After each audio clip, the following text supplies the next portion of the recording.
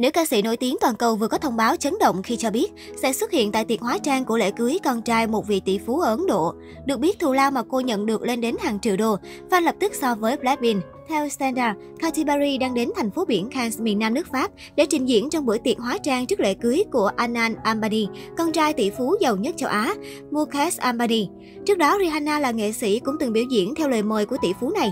Nguồn tin cho biết, Mukesh, người sở hữu khối tài sản ròng 114 tỷ đô, chi hàng triệu đô cho sự xuất hiện của chủ nhân hit Firework. Hiện danh sách ca khúc mà Perry sẽ trình diễn chưa được tiết lộ.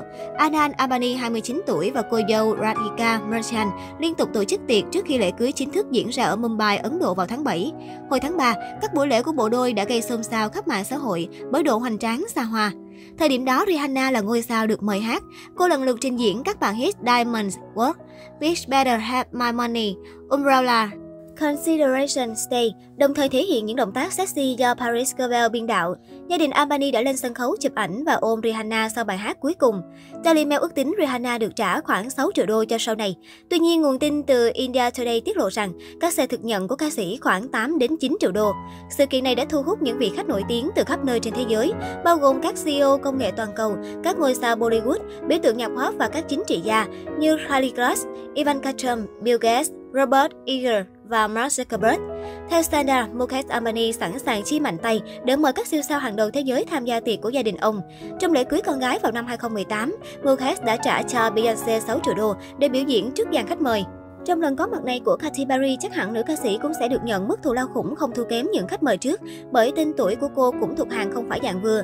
Các fan sau khi biết tin cũng liền mang ra so sánh với bốn cô nàng Blackpink, khi đây cũng là nhóm nhạc nổi tiếng toàn cầu. Chưa từng được diễn ở những sự kiện đặc biệt riêng tư như thế này, Blackpink chỉ thu nhập từ các đêm concert với lượng vé bán ra khủng nên nếu mang ra so sánh cũng khá khập khiển với Katy Perry. Trước đó vào năm 2022, theo thông tin được chia sẻ, Blackpink sau buổi biểu diễn tại trung tâm Prudential ở Newark, tiểu bang New Jersey, ngày 14-15 tháng 11 năm 2022, họ nắm giữ kỷ lục buổi hòa nhạc có doanh thu cao nhất tại Mỹ của một nhóm nhạc nữ, với doanh thu 3,298 triệu đô cho mỗi đêm. Điều này giúp Blackpink vượt qua hàng loạt những nhóm nhạc đối thủ mạnh khác để nắm giữ kỷ lục đáng gờm này. Bên cạnh các siêu khủng từ việc ca hát, các cô nàng Blackpink cũng kiếm nguồn thu từ việc đại diện các nhãn hàng. Sở hữu thần thái và độ nổi tiếng toàn cầu, Jennie Blackpink lọt vào mắt xanh của nhiều nhãn hàng nổi tiếng như Chanel, Calvin Klein. Song để có được hình ảnh của nữ idol, các thương hiệu phải chi ra một khoản tiền rất lớn. Năm 2022, một hãng giường chăn ga gối đệm Hàn Quốc, Acebet đã nhắc đến chi phí thuê man rapper Blackpink làm người mẫu quảng cáo cho sản phẩm của mình. Theo đó, nhãn hàng này tiết lộ mức cắt xe quảng cáo của Jennie cho một hợp đồng ít nhất lên đến 700 triệu won, tương đương 13 tỷ đồng, và cao nhất có thể đạt đến 1 tỷ won khoảng 18,5 tỷ đồng. Tuy là một con số khổng lồ, song thương hiệu A cho biết, việc mời nữ idol quảng bá sẽ giúp họ tăng doanh thu sản phẩm rất nhanh. Về Katy Perry, nữ ca sĩ cũng thu nhập khủng không kém. Vào năm 2015, Forbes đưa tin, Katy Perry là ca sĩ đứng đầu danh sách bình chọn những ca sĩ có thu nhập cao nhất năm 2015, với con số ước đạt 135 triệu đô, tính từ tháng 6 năm 2014 đến tháng 6 năm 2015, ngôi sao nhạc pop 31 tuổi đã vượt mặt nhiều đối thủ nặng ký để vươn lên vị trí đầu bảng xếp hạng này.